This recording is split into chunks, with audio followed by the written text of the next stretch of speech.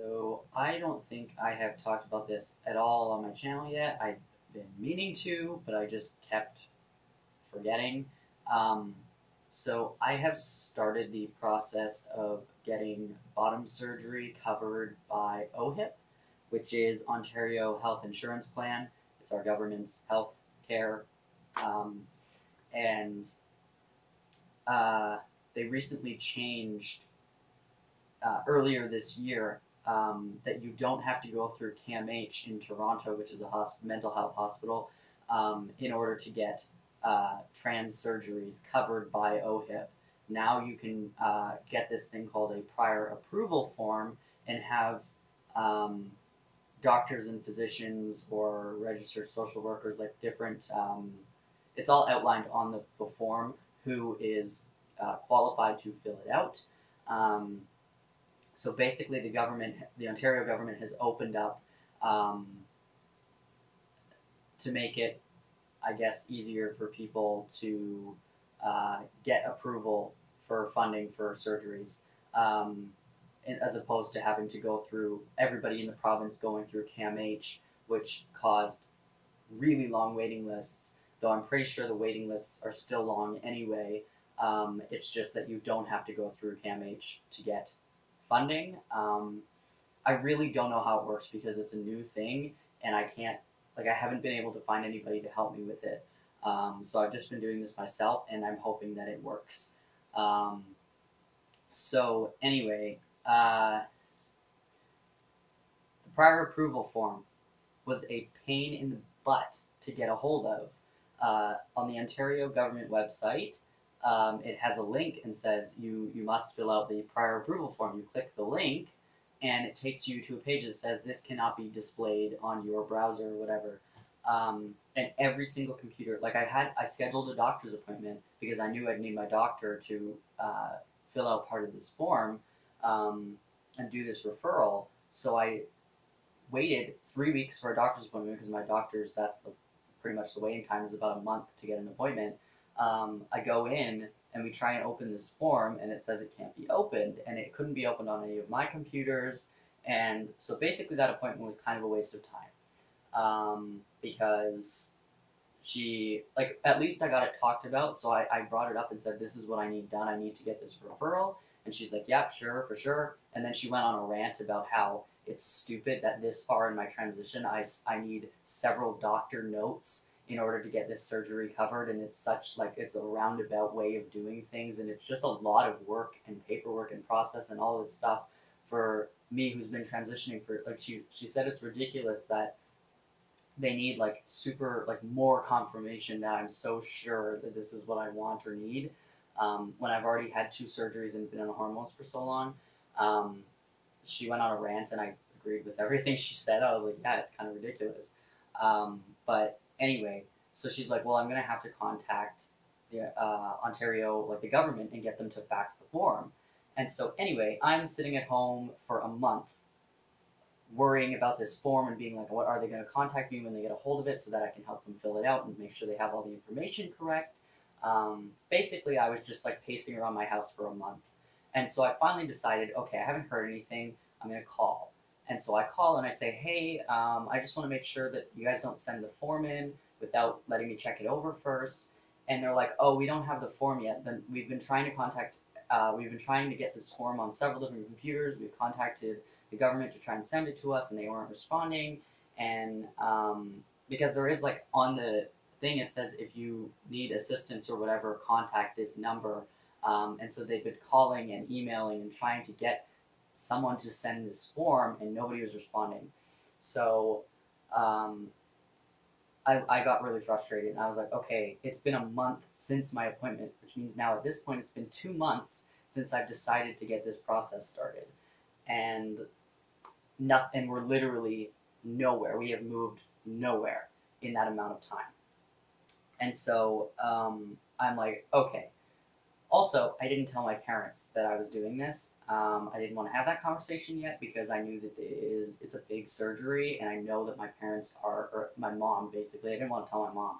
Um, is very nervous about it, and so I haven't literally, I literally have not talked about my mom or talked about bottom surgery with my parents ever My mom brought it up once, like two or three years ago, and she did not have very confident things to say about it. She, I just, I know that she's anxious about it, so I didn't want to stress them out. Um, which means I didn't want to ask for any help.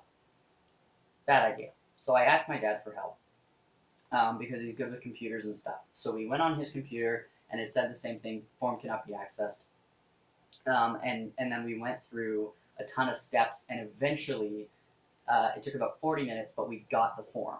Um, we got access to it, so he printed it for me, and he didn't ask any questions because that's the kind of guy my dad is. He, he, there's no way in hell he didn't see what it said. It literally says on the top of it, prior approval form for OHIP funded sexual reassignment surgery. That's what it says.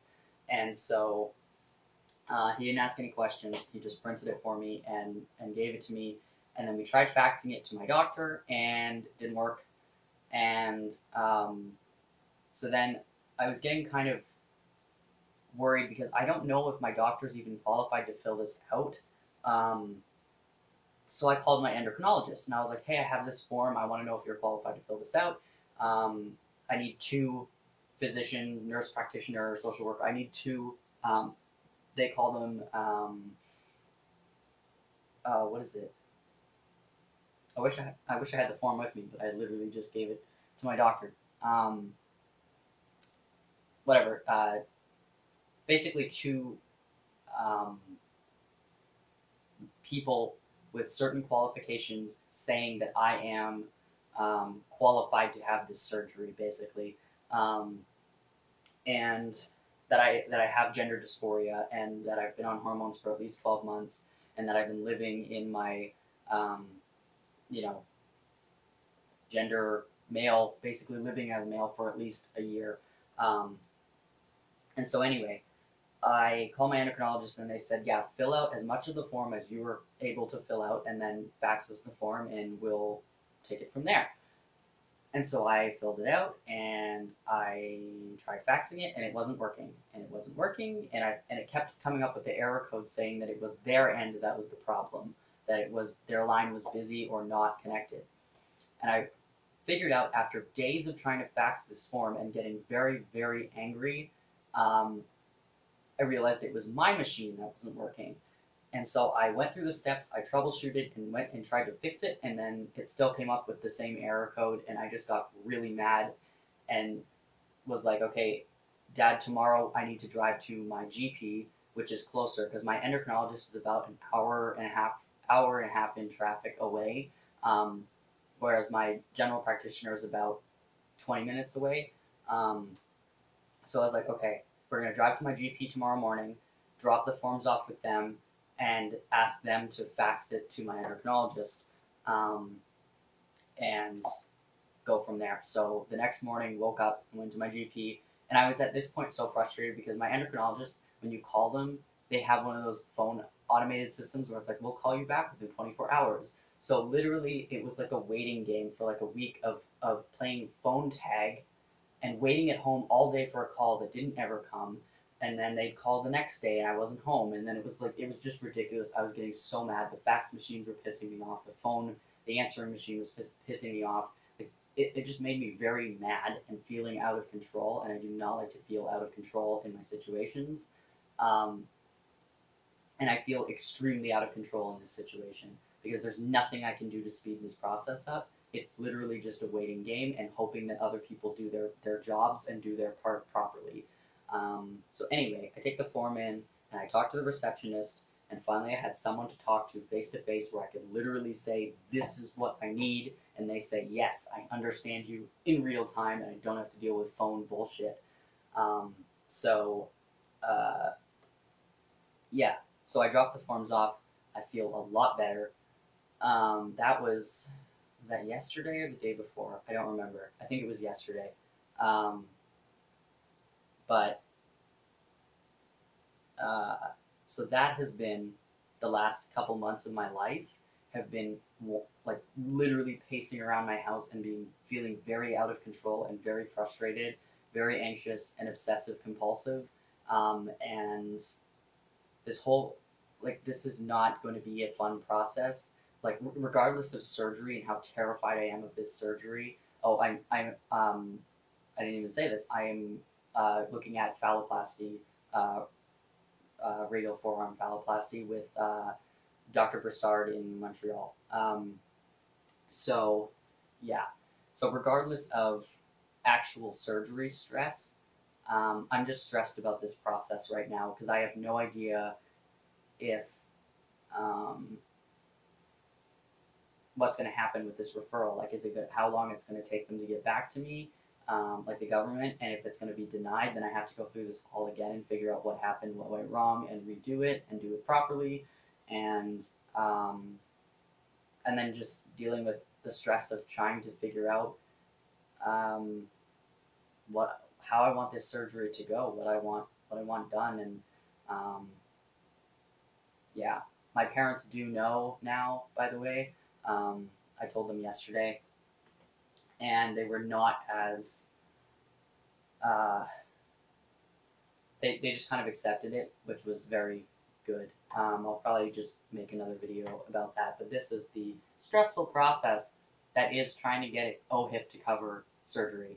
Um, yeah, it's frustrating, and because everything is so vague. The form itself, once I got a hold of the prior approval form, everything on that was so straightforward. It was very easy to fill out and everything. It's just getting hold of that was such a pain, and I just wish that I had doctors that like knew how to do this stuff um, because they don't really seem very knowledgeable. I don't know. Um, it's frustrating, and I know that people are just trying to help, and I'm trying very hard to not get frustrated and not be angry at the system. My dad said to me yesterday, he said, getting angry at the system in the process is doing nobody any good. So you need to, you know, take a breath, calm down, and accept that this is something that is going to happen.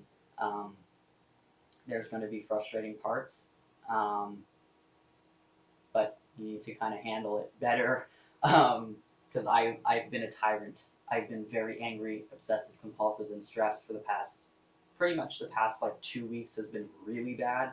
But um, yeah, it's been about a couple months now of trying to get this process going, and I'm literally nowhere. Um, yeah, I was kind of hoping to have the form already sent in by now, but my doctor said they'll call me as soon as the form is being sent out to the government. Um, so yeah, waiting on that. But just an update about uh, where I'm at right now. um, yeah, thank you for watching. If you have any questions, comments, video topics, anything like that, let me know. Um, subscribe if you haven't already, and thanks again for watching.